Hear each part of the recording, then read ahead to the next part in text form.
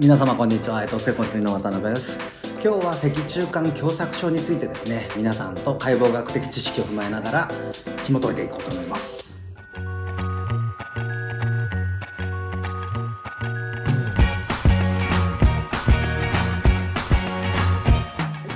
では脊柱管狭窄症って何なのっていうお話なんですけども脊柱管狭窄症というのはあの背骨ですね。背骨の後ろのところを通るあの穴。脊柱管っていうところの管の変形だと思ってください。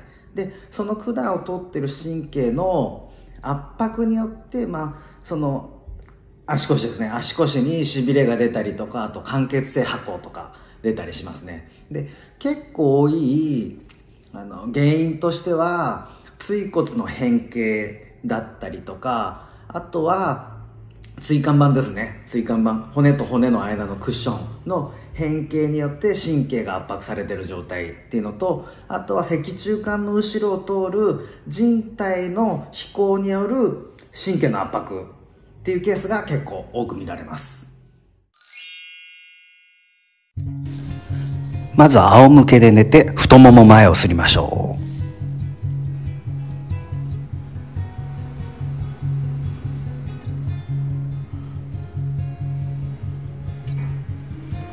膝を立てていただいてそのまま膝をですね胸に引き寄せます。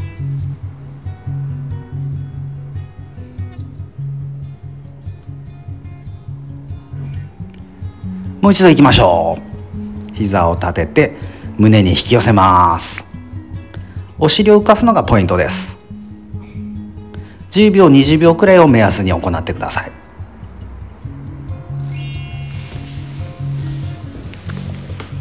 はい、次に立った姿勢でしびれた方のね、足を後ろに下げます。骨盤に手を当てて、前屈して骨盤をさすります。これも10秒、20秒目安で行ってください。は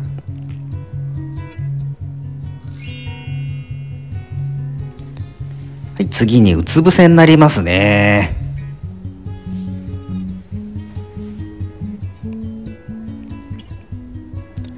膝を曲げます。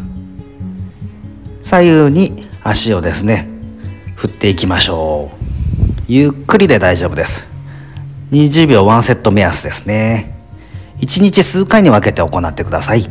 やりすぎないように。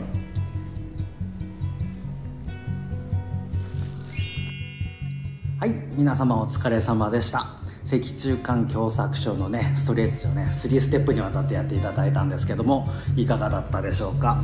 で今の3ステップはもうほんと初歩的なストレッチをねただご紹介しただけなんですけどもまたちょっと機会がある時にあのもうちょっと密度の濃いストレッチをねご紹介したいと思いますのであそれまでちょっと楽しみに待っておいてください。今日は以上になります。